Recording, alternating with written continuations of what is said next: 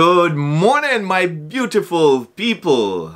Yeah, man. Welcome to another vlog. Vlog number two. This morning, I continue to drink my garlic and lemon tea to maintain that blood pressure. A very good remedy, guys. I'm actually feeling much better since I start having this tea in the mornings. Alright, so I'm going to do a rundown of this morning's news on the Observer, the Gleaner, and Loop News. And, I'm, and this morning I'm going to start out with the Gleaner. What's on the Gleaner this morning? The headlines. Buju's son forgives him. I mean, you guys may have seen some things in the um, news lately about Buju Banton's son, uh, Marcus Myrie, you know, really cuss him out on social media, Instagram, and so on. Uh, and I tell you, this social media thing really causing havoc in people's lives. There was no need to really put that out there, in my view. I think this was a family thing and they needed to deal with it. Right? It's a father and son issues and father and son always a fall out, you know, because trust me, when my father was alive, we have a couple falling out. but you know, you deal with it like family. That's how it should be dealt with. Second on the list, fake recruitment ad causes thousands to descend on JDF.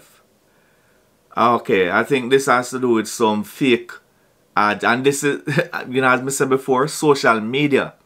Social media caused this because these recruits apparently saw this ad, fake ad out there and descended on JDF thinking that they were recruiting more than 2,000 uh, young people were there to apply to become soldiers. Third on the news in, on the Gleaner is that Transport Minister warns against using snow tires. using snow tires. Why would people be using snow tires in Jamaica? Funny. I tell you, Jamaicans are easy, you know. People, Snow tires are not made to use in tropical climates. Um, they're they're made to use in, in places where you have snow. That's why them call them snow tires, alright? Boy, Jamaicans not easy. Flash flood, and this is on the international scene, you know, flash floods, earthquake in Indonesia kill over 80. Ah, feeling very bad about them because something on me here about them. You know, only political disaster going on in the world and the people. Yeah, U.S. Supreme Court to consider whether Lee Boyd Malvo deserve uh, deserves new sentencing. Hmm. So I don't know how many of you guys remember Lee Boyd Malvo, that sniper with that sniper shooting some years ago, terrorized people in the U.S. Um, let me read that story of you know. The Washington Post is reporting that U.S. Supreme Court today indicated that it will consider whether Lee Malvo, the teenage half of the Beltway snipers who terrorized the Washington region 16 years ago, may challenge his sentence of life in prison. Malvo, 34, was a 17-year-old when he and John Allen Muhammad committed what Virginia officials called one of the most notorious things of terrorist acts in modern American history. Between September 5th and October 22nd, 2002, Muhammad and Malvo killed 10 people and wounded others in sniper attacks in Virginia, Maryland, and the District of Columbia. Muhammad was executed in 2009, but Malvo received sentences of life in Virginia and Maryland. The Supreme Court actions uh, announced Monday involve the Virginia sentences and will be heard in the term that starts in October. After a 2003 trial in which Malvo was convicted of shooting FBI analyst Linda Franklin outside a Fairfax County home, the pot store, a jury decided against the death penalty. Um, Alright, tell me something, you guys. Do you think that he deserves a new sentencing, one that does not involve life. I don't know. I mean, they, these guys take a lot of lives. And at 17 years old, yes, you know, he was young, but I think he was a sensible boy, intelligent enough to know what he was doing. So, uh, this is my personal opinion. No, you know, you can disagree. But I don't think him should re receive a new sentencing. Me no know. Me no think so. I do not think so. Yeah, guys. So that is what's on the Gleaner. Let us see what's on the Observer this morning, guys. I hope you're having a good morning. I hope that you guys will have a good day at work. Today I have school and I have a presentation um, for one of my classes. Alright, so on the Observer. New Zealand leader vows to absolutely deny mosque gunman a platform. Of course, you know give them criminal then a platform man. Put them before the court and if them find them guilty, you know, lock him up for life. Yeah man, lock him up for life. Double fatal accident in Trelawny. People, Jamaican people, we need our drivers to take time on the road, you know take on time on the road. Right? That's another big problem at Jamaica. The man them feel like say a be a racetrack we have at Jamaica. You know, see your Jamaica roads narrow. Listen, me they there foreigner drive now and the road them so big and pretty and nice. Right? And people still meeting accident up here. And look how Jamaican roads them narrow. And you guys are still speeding and doing all kind of foolishness on the road. No take on the time, man. Take on the time on the road. Five cars stolen outside Buju Banton concert. We have only party for Jamaica. No? Bizarre if you say We have some good people at Jamaica, but we have only bad thief too. Only bad thief there Jamaica. Motorcyclists die in bizarre crash. Yeah, we we continue to have problems with with um, motorcycle crashes or uh, you know accidents on the road. Very bad. Man fined $50,000 for illegal dumping. Yeah, man, good. We need to keep Jamaica clean. As a matter of fact, that they need to step up the fine. We could keep the country clean, man. Alright, there's nothing much on the Observer this morning. I know it's kind of early, so some stories may then not post some story. Let me go to Loop News now. Loop News. What's on Loop News? The latest on Loop News this morning. Sterling Gospel Awards team responds to Wayne Marshall fiasco. Oh, let me look on that. Uh, let me read this one. There can be no doubt about it. Wayne Marshall's Glory to God has hit the right note with secular and religious persons around the world and around the globe. But despite his sterling effort, the artist was excluded from nomination for an award at the Sterling Gospel Awards, which was held recently at the Knutsford Court Hotel in St. Andrew.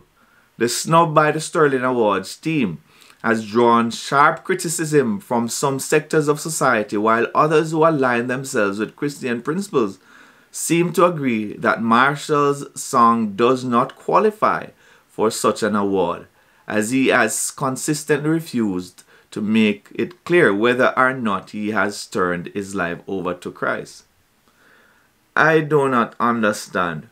Why is it important for him to reveal whether or not he has turned over his life to, to God? If it's a good song, it's a good song and it should not be judged based on whether or not he has turned his life over to Christ. That is his business, his relationship with God. So, I mean, why should the man be judged based on that. It's a very poor reason for not um, giving him, you know, giving him a nomination. It's a good song. Uh, very nice song and a lot of people love the song. Me like the song too, you know what I mean? So, me no know.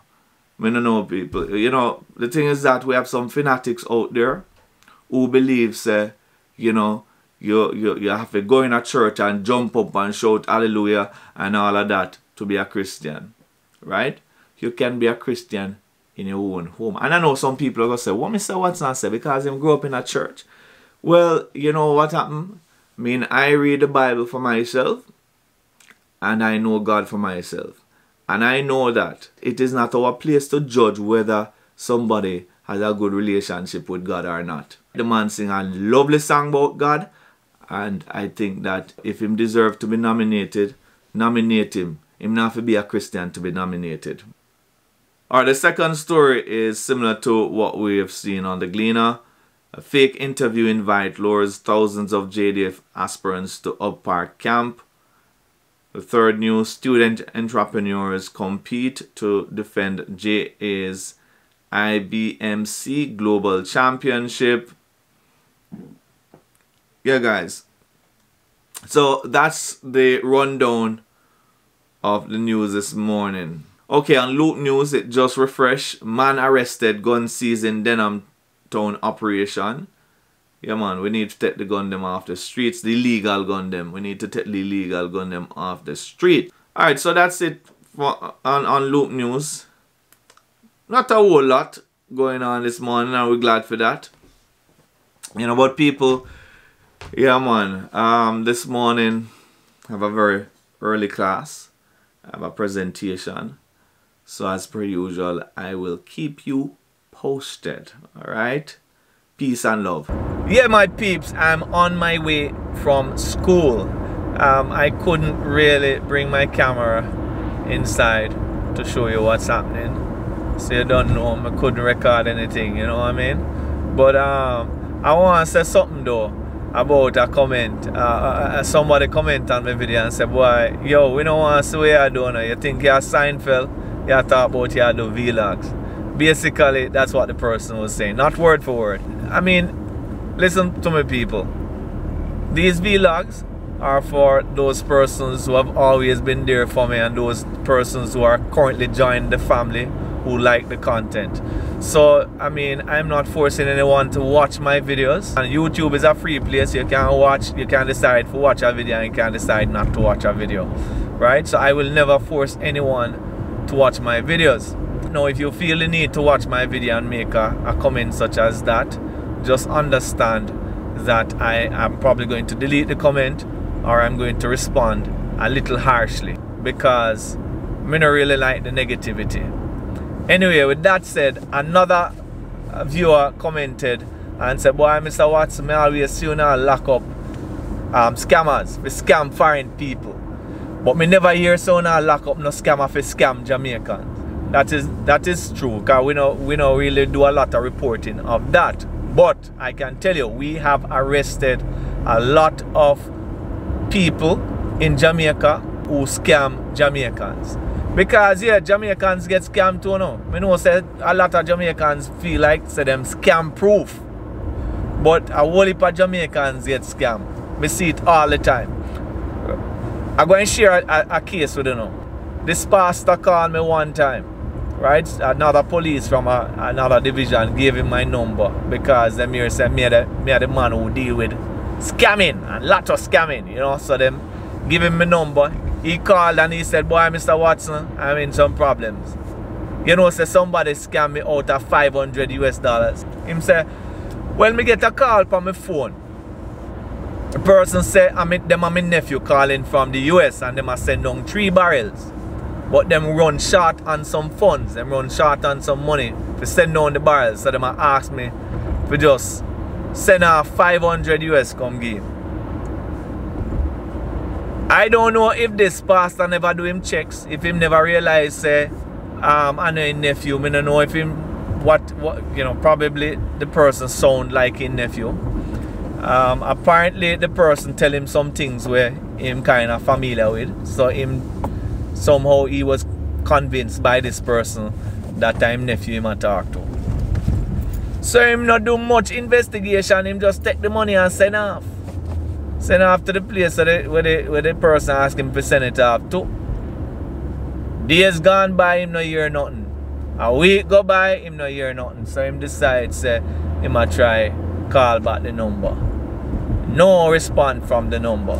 So he decided to call his nephew's mother, that would be his sister, to ask about what's happening. So when he called her and asked her about the barrel that her son supposed to send that is his nephew. She was like, No, no, John. What you talk about? No man, they don't know said all um not not there in the States no man. Him in the army, so him the Germany right now. So it was like, really? No man, but Daryl called me and tell me say I send down three barrels and if he send off some money. She said no no Daryl that. Right? So obviously when him do him checks and checks and checks and, and balances him realize say a scamming get scammed. Jamaican me I tell you about. Scammed. Yeah man. So a lot of Jamaicans do get scammed also.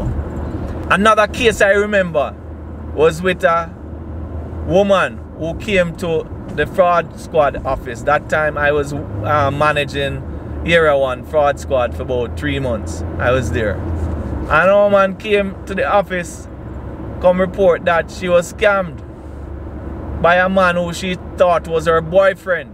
She met this man on Facebook. They've never met in a person, but they have been talking for a while. And this man told her that he was in the army right? And how much house him own and how much car him own and him have money and them something. And she believed. Him tell her one day, say him send her, he's going to send her some things. Right? I'm going to ship her off a barrel. She was so excited. He said that she, him even tell her, say, you don't have to worry about a thing, baby.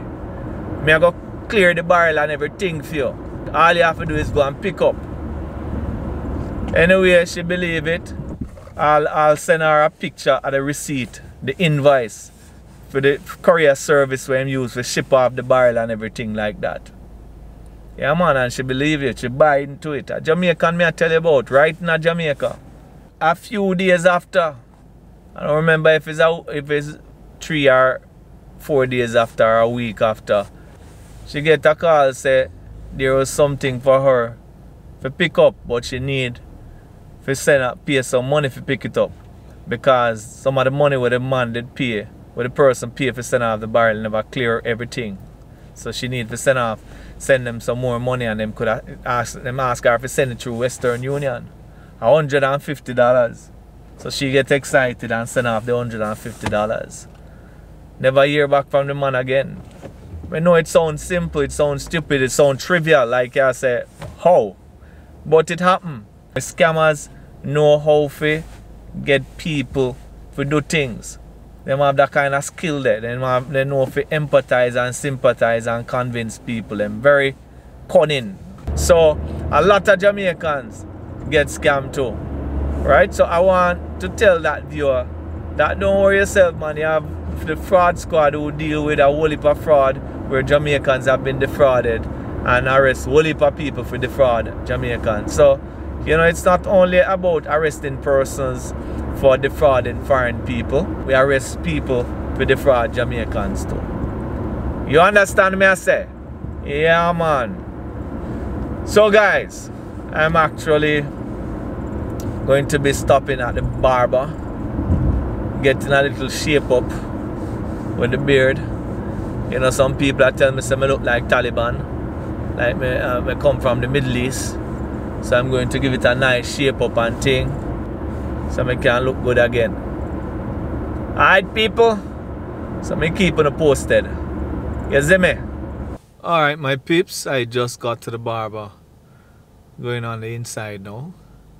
I let them shave up a beard and everything, alright? Yeah man. So see you in a little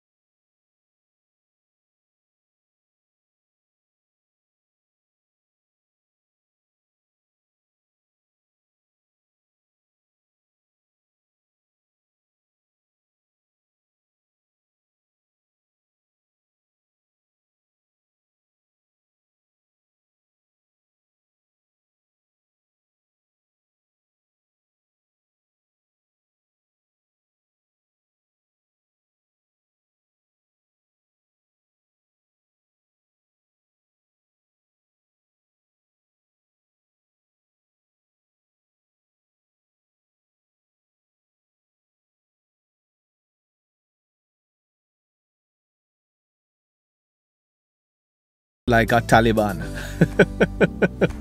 Alright, guys, that's it from me for today. You know, as per usual, you can follow me on Instagram, Twitter, and Facebook at The Noble Cop. Um, remember to like this video and subscribe. Support the channel, man. Yeah, man, support the thing, right? The more subscribers I have, I mean, obviously, you guys supposed to know this by now, the better it is for me, right? Um, also, guys, you can support me through Patreon, um, you know, in the description below. You can just click on that Patreon link, or you can support me through um, PayPal, right? Whichever. I mean, you know, it's it's it's not. I mean, you don't have to, but if you feel a drive to to support me because you like my content and all of that, you can do that. All right, guys. Until next time, me love no bad bad. Walk good. All right.